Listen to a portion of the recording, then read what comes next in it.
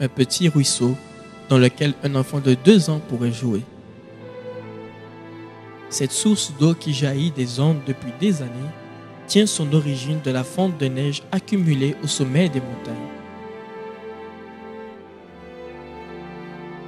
Vous êtes-vous déjà arrêté pour réfléchir à ce que pourrait devenir cette petite source d'eau? Cette source que nous venons de voir devient le gigantesque fleuve Amazon. Le plus impactant de la planète. Le plus imposant.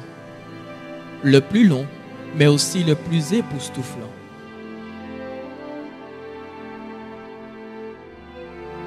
Si le volume d'eau est supérieur à celui du Nil, du et du Mississippi réunis, il est une gigantesque masse d'eau, au point qu'il pourrait tarir la soif de tous les habitants de la planète.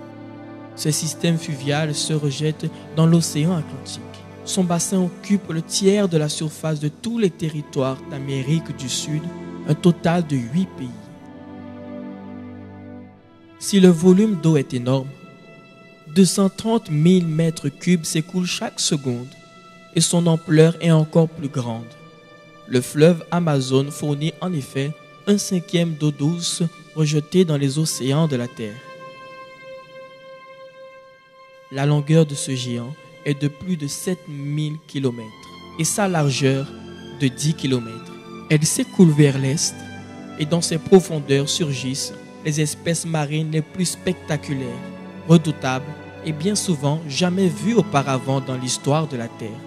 C'est l'habitat de plus de 10 000 espèces de poissons, plus que dans tout l'Atlantique.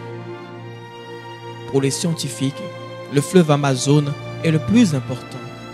Mais pensez-y, ce puissant fleuve est né d'un petit ruisseau. Jésus lui répondit, Quiconque boit de cette eau aura encore soif. Mais celui qui boira de l'eau que je lui donnerai n'aura jamais soif. Et l'eau que je lui donnerai deviendra en lui une source d'eau qui jaillira jusque dans la vie éternelle.